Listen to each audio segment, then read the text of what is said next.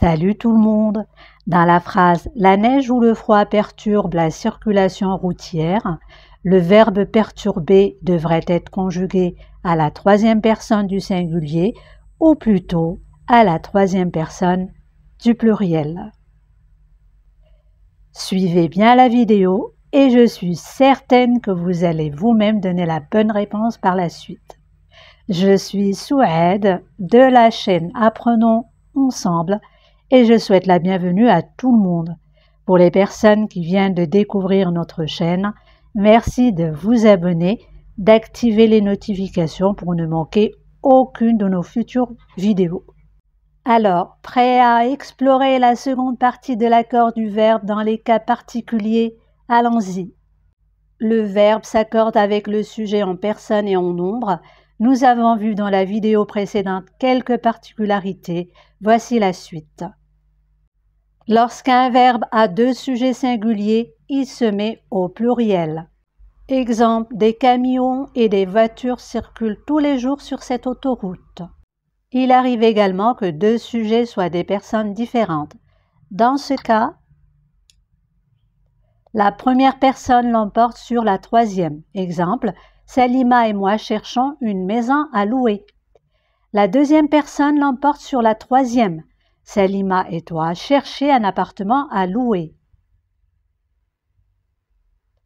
Pour éviter toute confusion, il faut reprendre les sujets par le pronom personnel équivalent. Salima et moi, nous cherchons une maison à louer. Lorsque deux sujets s'enjoignent par ainsi que, aussi bien que, autant que, pas plus que, comme, le verbe s'accorde avec les deux sujets sauf si l'un d'eux est dominant. Exemple, le Maroc ainsi que l'Égypte appartiennent au continent africain. Par contre, dans cet exemple, la fatigue autant que l'ennui entraîne des bâillements par ailleurs, lorsque plusieurs sujets singuliers de la troisième personne sont joints par ou, ni des pointiers ni, le verbe s'accorde avec l'ensemble des sujets si l'idée de conjonction domine. Avez-vous maintenant la réponse pour la phrase de départ? Dans cette phrase, les deux sujets peuvent faire l'action en même temps, le verbe s'accorde au pluriel. Donc la neige ou le froid perturbe la circulation routière au pluriel. Si l'un des sujets exclut l'autre, le verbe dans ce cas s'accorde au singulier. Exemple, le Mexique ou le Canada importera nos dernières créations. Avec Nini, le verbe peut s'accorder au singulier comme au pluriel au choix. Exemple, ni un train ni un autobus ne passent au singulier ou au pluriel par ce village. Les sujets sont toujours disjoints lorsqu'ils sont unis par des locutions telles que, ou plutôt, ou même, ou, pour mieux dire. Exemple, un salaire ou même deux salaires dans un foyer feront l'affaire. Lorsque deux sujets joints par moins que, plus que, plutôt que et non, le verbe s'accorde avec le premier sujet. Exemple, la patience et non la précipitation permettra de finir ce travail. Un livre plutôt qu'un mobile est nécessaire pour l'épanouissement de l'enfant. Être bien traité plus que l'argent réjouit la femme dans un couple.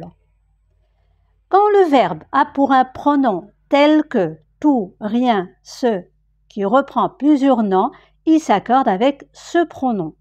Exemple, la natation, la marche, la course, le foot, tout plaît à ma nièce.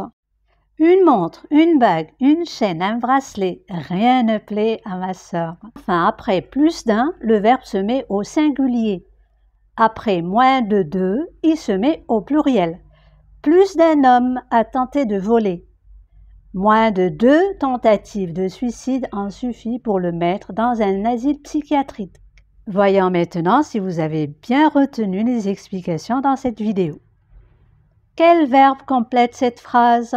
Qui des pointiers le coup d'envoi?